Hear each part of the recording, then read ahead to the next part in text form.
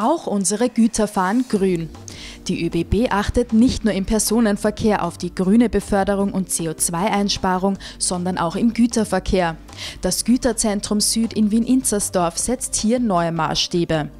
Beim Kundenevent der ÖBB Infrastruktur AG wurde über den aktuellen Baufortschritt und die Wichtigkeit des Wirtschaftsstandorts Wien informiert. Ja, es ist das Güterzentrum Wien eins der acht Terminals und Güterzentren, die wir in Österreich betreiben.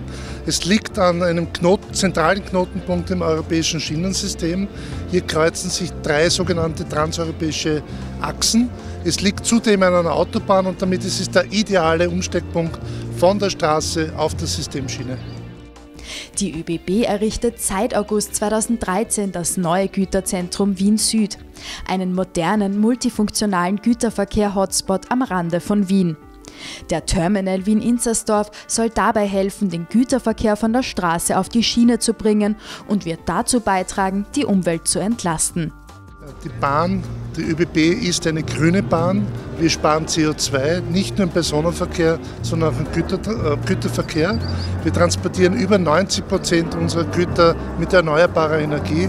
Das ist ein toller Beitrag für die Umwelt, das ist ein toller Beitrag der ÖBB für die Gesellschaft. Von Anfang an war sich die ÖBB bei dem Projekt aber auch der Verantwortung gegenüber bestehender Lebensräume von Mensch und Tier bewusst.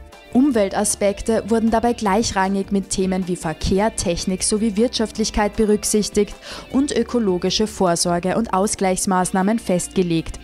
Neben einer 100-prozentigen Geothermieversorgung des ganzen Areals wurde auch das erste Haus aus Vollholz errichtet.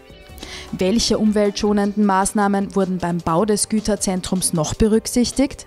Wir haben geschaut, dass wir gemeinsam mit den Anrainern hier sogar parkähnliche Landschaften schaffen, äh, die auch den Anrainern hier helfen. Den Anrainern helfen auch nicht einen Güterbahnhof zu sehen. Äh, wir haben versucht, hier möglichst viele Materialien, die anstehen, nämlich Erdmaterialien, äh, wieder zu verwenden für Schüttungen, aufgearbeitet und für Schüttungen wiederverwendet.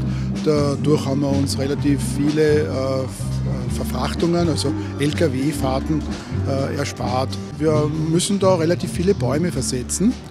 Ähm, und äh, die Idee war, Kinder aus der Volksschule, gleich aus dem angrenzenden 10. Bezirk, diese Kinder äh, einzuladen, Bäume zu setzen.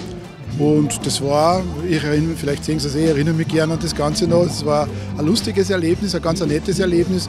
Und ich habe eigentlich äh, begeisterte Kinder gesehen, denen hat es richtig gut gefallen. Und es wurde auch gleichzeitig gemeinsam mit den Lehrerinnen als Lehrstunde für die Kinder, das waren Volksschulkinder, ähm, welche Baumarten gibt es, wie wird ein Baum überhaupt versetzt, wurde das Ganze gestaltet. Und das war eigentlich für alle, für die Kinder und auch für uns ein super Tag. Nach erfolgter Betriebsbewilligung soll der Terminal Ende 2016 in Teilbetrieb gehen. Die Gesamtfertigstellung ist für das Jahr 2017 geplant.